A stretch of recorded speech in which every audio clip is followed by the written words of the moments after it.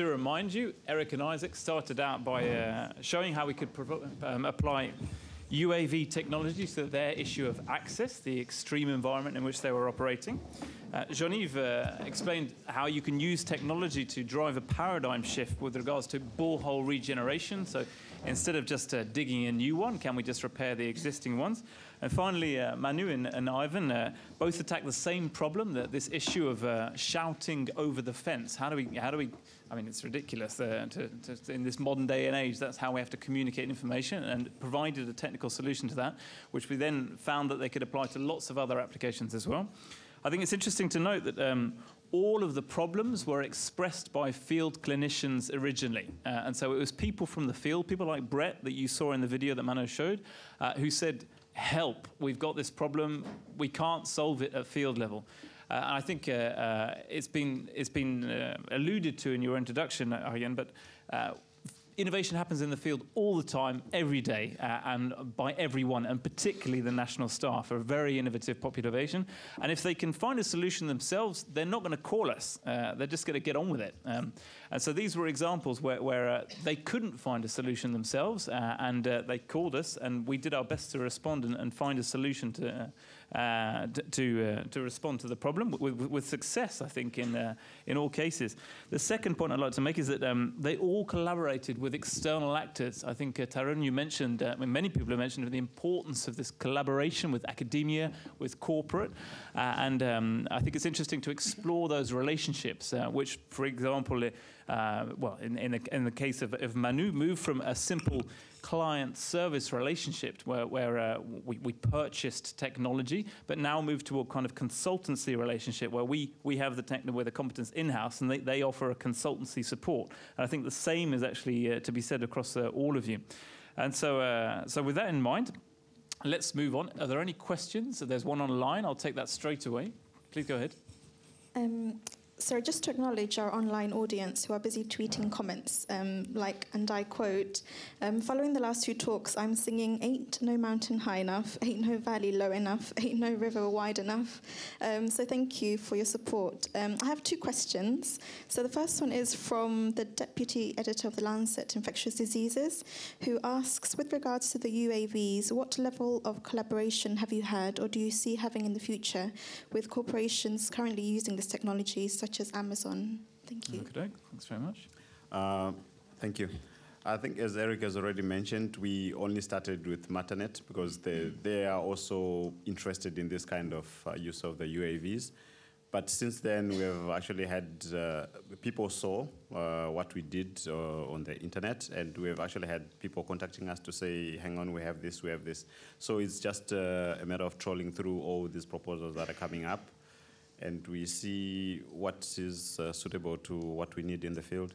It's, we are still some ways off, but uh, yeah, we'll collaborate with uh, anybody who can come up with the, the, uh, what we need in the field. Hmm. Second question. Um, the second question is from MSF Zimbabwe, who um, direct this question um, to the presenter of the boreholes. Um, very context-specific technology would indeed be much needed in Zimbabwe. Well done. Um, is there a plan in the future to train more WatSan officers on how to use this innovation? So will you be training? Uh, are you, you're running a workshop?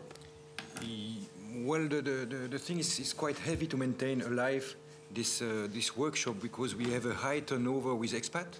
And we know that also when expat get the knowledge, very often uh, they leave MSF. Mm. So we have to start again and again. So it's, it's, it's heavy for us to maintain it. So that's the internal discussion that we have for the moment.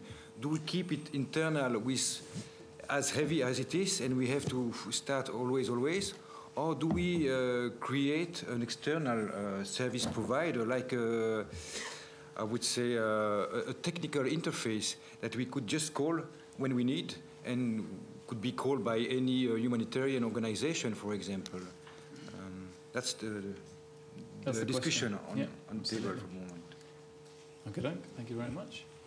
So there's a question. I'll take first the gentleman on the left with the orange jumper, and then afterwards, uh, Maya.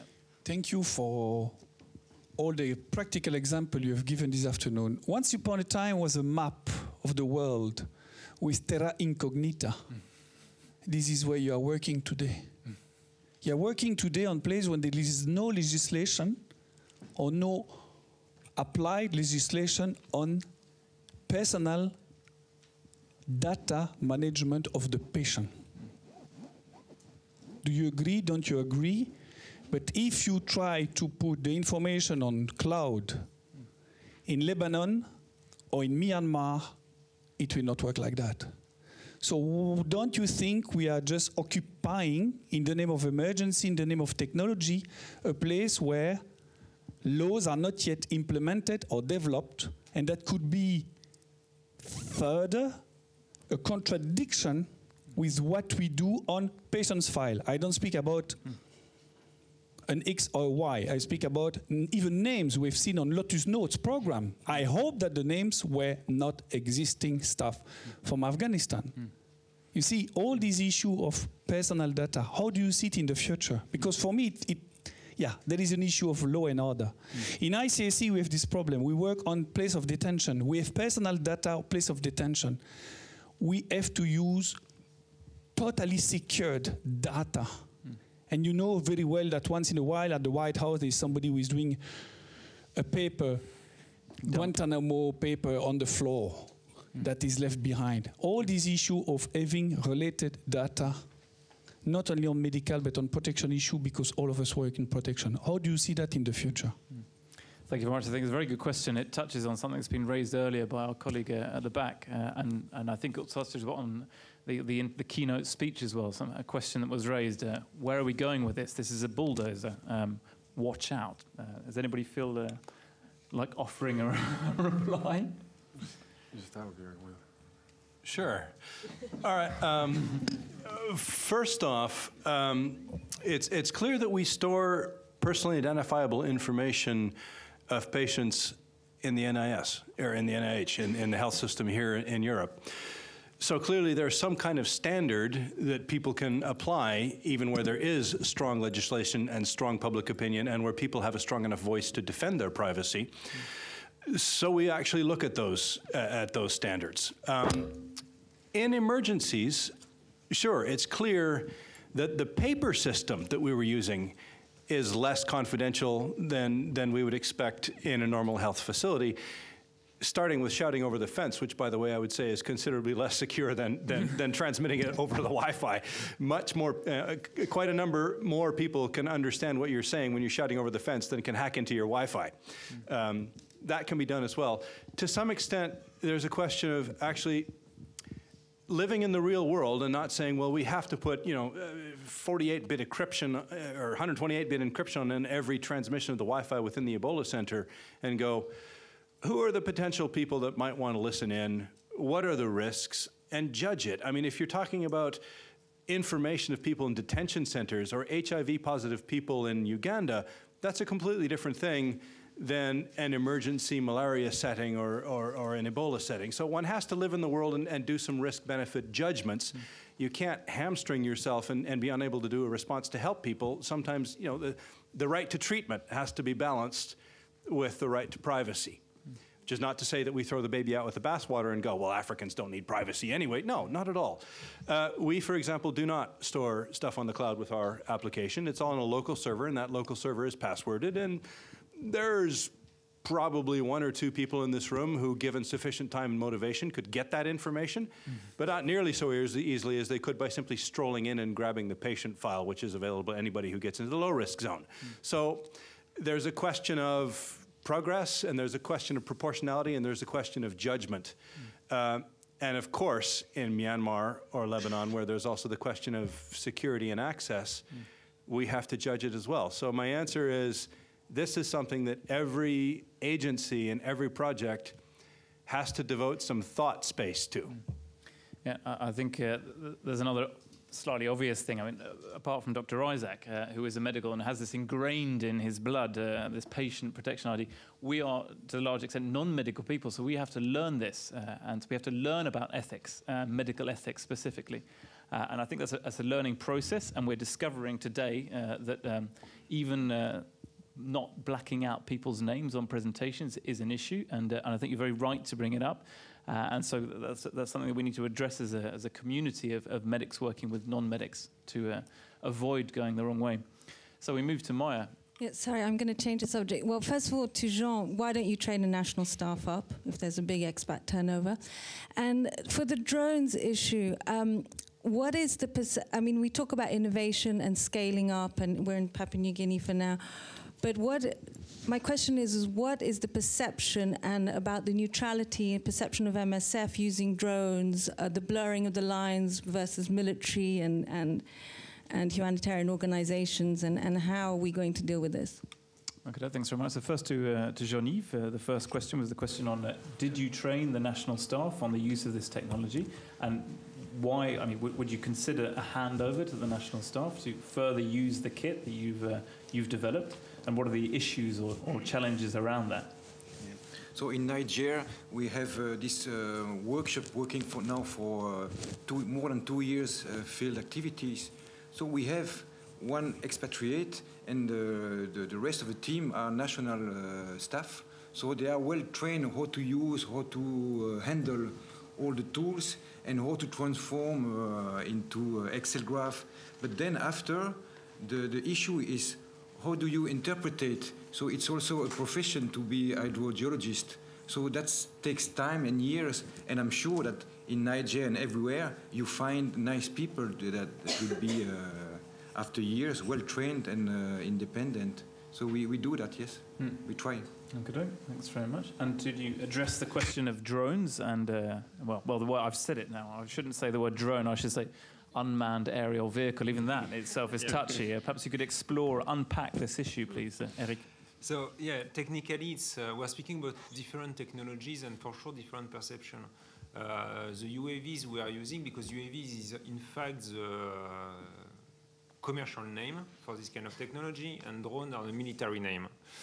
Uh, the difference is first of all that we uh, the communication we are passing through the through the authorities and uh, through the uh, through the local communities.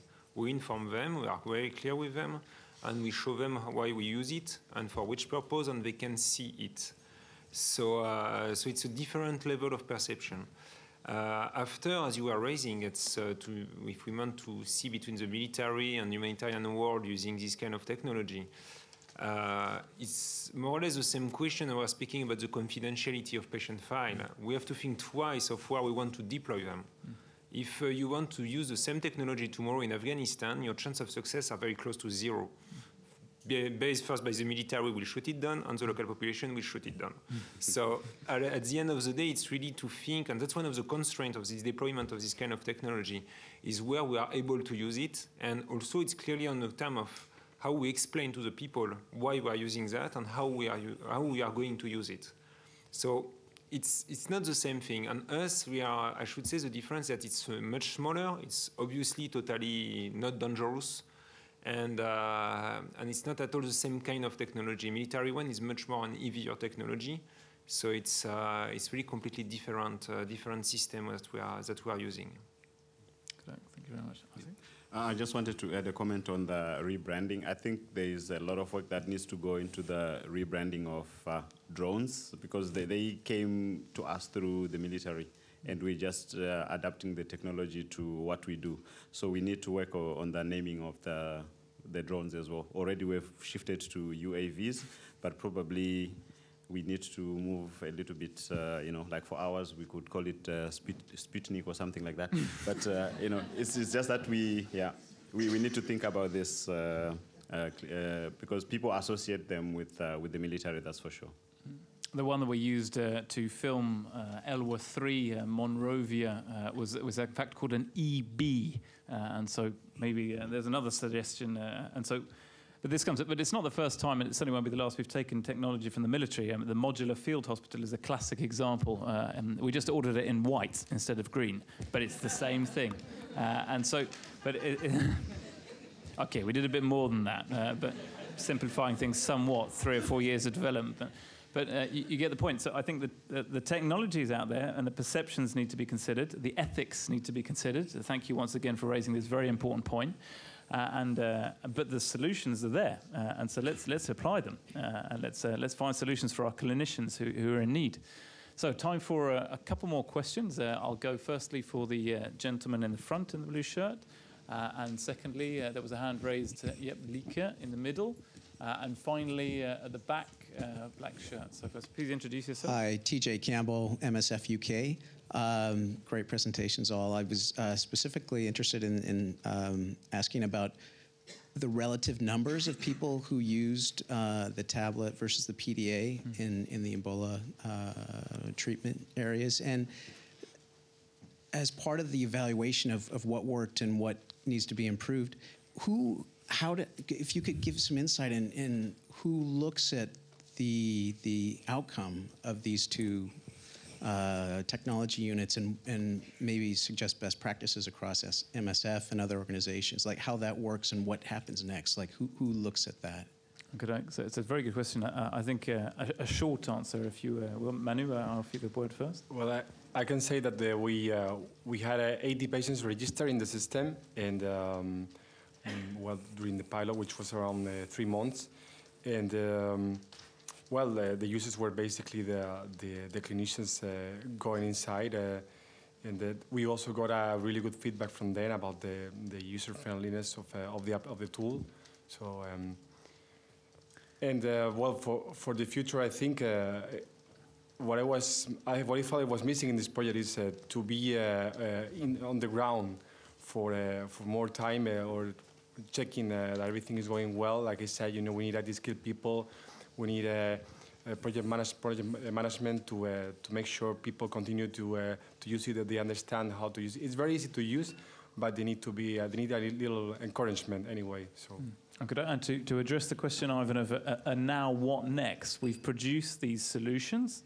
Where do we scale up? How do we scale up? Who decides where to scale what? Do we choose? Do we not choose? How do, how do we deal with that?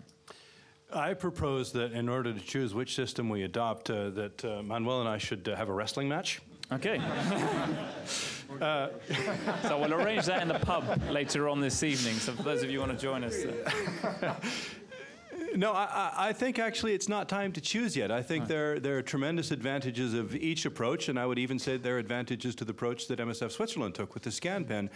Uh, it's not time to throw out any of these, uh, these innovations that we've worked on.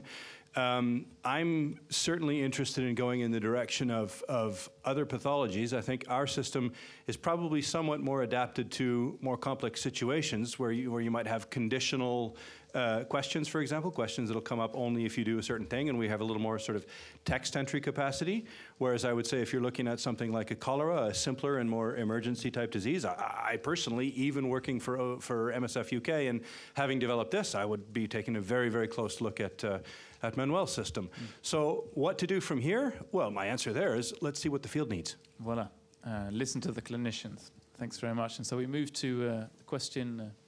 Lieke, could you reintroduce yourself? Me? Yes, so my name is Lieke from uh, OCB. I gave you earlier a presentation about the learning and development system in Afghanistan. And I just, I don't have a question, I just want to give a quick remark over the, about the first question I heard about the privacy of the data. Just to reassure you, what I showed you was a copy of the online tool, and we reshuffled all the data. So what you saw was not the real names of the staff and not the real names of the projects. Plus, the spots were protected. So rest assured that this was really privacy uh, protected the information that we showed you. Thank you. Thank you very much, Lieke, for, for clearing that out for yourself. Uh, okay, doke. I, uh, Estrella Lasry, MSF. Uh, I have a question. It, it's not really a question, but it kind of answers to what you were saying now. Why do you have to choose? Why why not work together? I, I see both systems that the systems that you both presented, and I've seen both of them, one in the field and one outside of the field. One is would be very adaptable for a hospital setting, and the other one for an outreach setting. But they need to speak to be able to speak for to each other. Mm. Is that possible, or is the competition so high that that's just never going to happen? Okay, so, It is possible, it is possible. no competition. It is possible, and whatever competition there is is very friendly. Mm. No, it's, uh, uh, there, there are technical challenges with making different systems uh, speak to one another, but one of the things that we've invested a lot in, uh, in both sides is, uh, is databases, to have the data stored in, in you know, professionally set up databases. And once you have that, then a good part of that work is done. Um, but I certainly think that all of these kinds of initiatives should be as modular as possible so that if you don't like my tablet, fine, use the PDA, but my server might still be interesting for you. So there, there's bits of the. Oh, definitely, yeah. Yeah. Manu? No, I agree with you. Um, well, for the for the geeks out there, uh, the, the, the database in OpenMRS and the one we used uh, in our project is also is my MySQL. So they are the kind of the same, and it would be actually very easy to to migrate uh, data from one to another, uh, or even even I could even envision at some point to uh, to move. Uh, Helios, as it is today, to an OpenMRS data model. So all of this is is possible, uh, and it doesn't require that much effort. The, um, I think the main reason uh, when I started the project, I also thought about OpenMRS, but I found it a bit um, too uh, too much complicated for what we wanted to achieve. So I went for a simpler solution, which was going to be also, I, th I thought, uh, faster. So because it was an emergency, we wanted to be there as soon as possible to help uh, our clinicians in the in L 3. And he was right. He was faster. So that was a good choice. so you see, you begin to feel the healthy tension between uh, the over. the tension. and, uh, we, we, we did uh, we did slightly different things, both of which have yeah. uh, different values. But we're talking. I agree totally. I mean, it's uh, complementary solutions. And uh, we're going to go to the pub afterwards and talk more. So on that note, uh, on that note of, of collaboration, uh, I'd like to thank uh, the presenters today and award them with the, the flip flop of innovation. and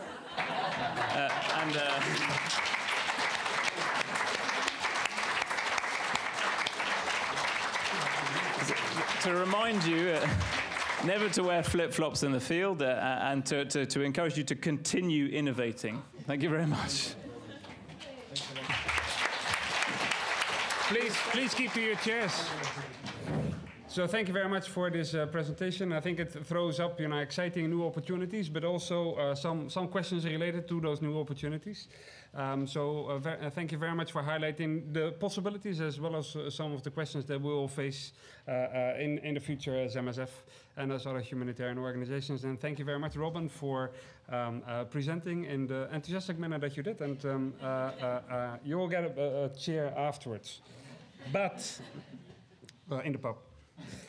Um, uh, what I wanted to do is basically, before I hand over to, to Kiran, Dr. Kiran, who, who's going to uh, uh, give some, uh, uh, some thoughts on the day, um, I, I, just wanted to make sure that I thank everyone who has been involved in this day, um, and in particular, and I'm looking at my notes because I don't want to forget anyone. You know, we've had fantastic speakers.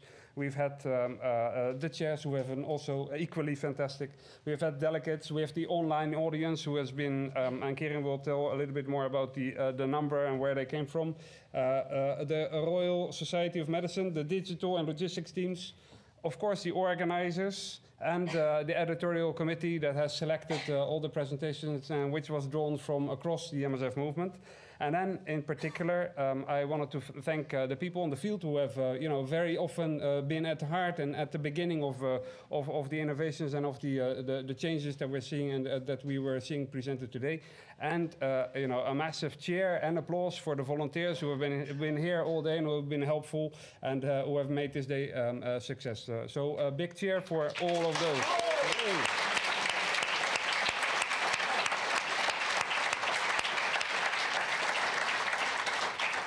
This day has also been sponsored. Um, uh, I don't think corporate sponsored, but nonetheless, we have had sponsored. We have the London School of Hygiene and Tropical Medicine, uh, the Royal Society of Tropical Medicine and Hygiene, Biomed Central, PLOS Medicine, Lancet, the Global Health, um, F1000, and the Wellcome Trust, and they have been all uh, been very generous in uh, their support towards making this day a possibility.